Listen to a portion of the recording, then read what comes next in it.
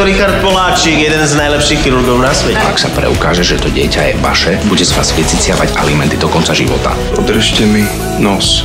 Prečo? Lebo ja som Lord Voldemort. Nemocnica. V útorok o 20.35 na Jojke.